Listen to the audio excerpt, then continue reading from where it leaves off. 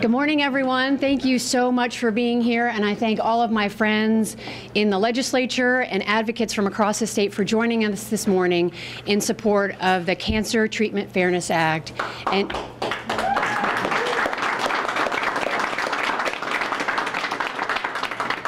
it's an incredible opportunity to show our dedication to making sure that folks who are dealing with life-threatening illness, a diagnosis of cancer, get access to the treatment that they and their physician think is the best course of action for them to save their lives. 324 people will be diagnosed just today with cancer.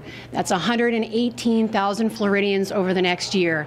And we are dedicated, we are strong, and we will take nothing but yes for an answer to make sure that we provide an opportunity for folks to do what they need to do without without worrying that they cannot afford the medication that they so desperately need to save their lives. Yeah. So I'm going to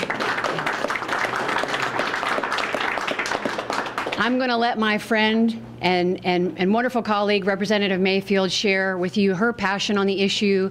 And we thank you all for being here to cover this. And for everyone back at home who is struggling or who needs relief and needs access to that medication, know that we're here working for you and we are going to be successful this session. And we ask that you, you give us that, and we'll look forward to being uh, celebrating together very soon. Thank you. Thank you.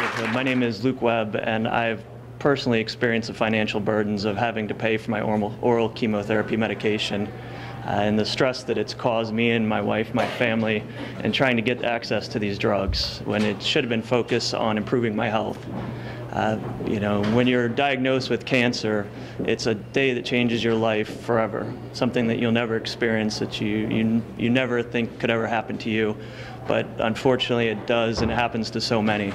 And it, it happened to me. I was 28 years old, I was newlywed, and I just went to the emergency room to have pain in my abdomen checked out, and it turned out to be cancer. And to treat my form of cancer, it costs $7,000 a month for my oral chemotherapy medication. It's not available in IV form. It's only available in the oral medication form. And luckily for me, I'm approved by the drug manufacturer and I get my medication. But it, for countless other Floridians that don't meet the income restrictions, that can't qualify, oral medications are out of reach.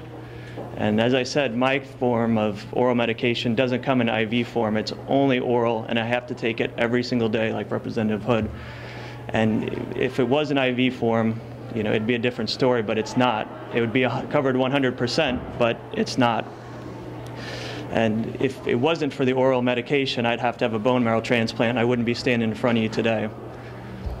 And, I mean, there's so many patients across the state that need access to these medications, and that's what we're asking for. Please don't restrict access to these medications. Please treat them the same as IV medications.